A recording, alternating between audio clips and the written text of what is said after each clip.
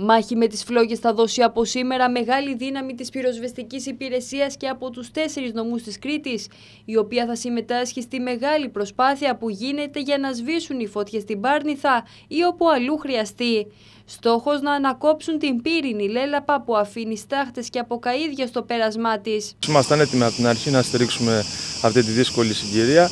Ε, χτες αναχώρησαν για την Αθήνα και τις πυργαγιές της Βιωτίας και της Πάρνηθας 8 ε, οχήματα με διπλά πληρώματα από όλους τους νομούς της Κρήτης, όπως και 18 άτομα από την Ειδική Μονάδα Δασικών Επιχειρήσεων, οι οποίοι τώρα ε, ήδη έχουν αναλάβει την υπηρεσία τους και πάνε να βγάλουν εις πέρα σε αυτή τη δύσκολη κατάσταση. Η συμμετοχή των πυροσβεστών του νησιού στη φωτιά της Αττικής δείχνει το μέγεθος της καταστροφής που συντελείται εκεί το τελευταίο 24ωρο. Οι κάτοικοι αλλά και οι εθελοντές από άλλες περιοχές δεν σταματούν να παλεύουν στο πλευρό των πυροσβεστών, προκειμένου όχι μόνο να σώσουν τις περιουσίες τους, αλλά και να σταματήσουν τα πολλαπλά πύρινα μέτωπα.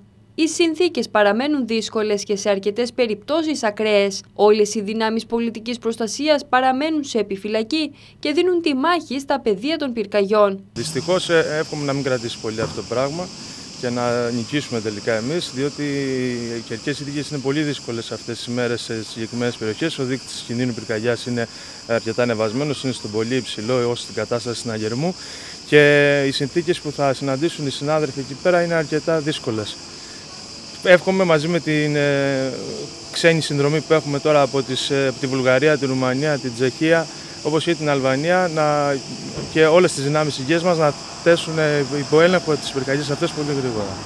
Η μάχη που δίνεται είναι τιτάνια. Μάλιστα τις τελευταίες τρεις ημέρες, όπως έγινε γνωστό από την πυροσβεστική, αντιμετώπισαν και αντιμετωπίζουν 209 νέες πυρκαγιές.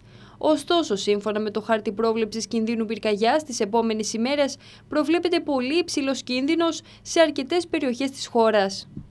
Σε επίπεδο Κρήτης πηγαίνουμε αρκετά καλά, διότι είμαστε σε γενική επιφυλακή Ιούλιο και Αύγουστο. Έχουμε όλες τις δυνάμεις έξω και έχουμε προλάβει όλες τις πυρκαγιές εκ τη γενέση τους. Έχουν βοηθήσει λίγο και οι καιρικές συνθήκες, αλλά κοιτάξτε, το βασικό είναι ότι Έχουμε κάνει απίστευτη υπερεργασία φέτος και όλος ο κόσμος είναι έξω για να προλάβουμε αυτή τη δύσκολη κατάσταση.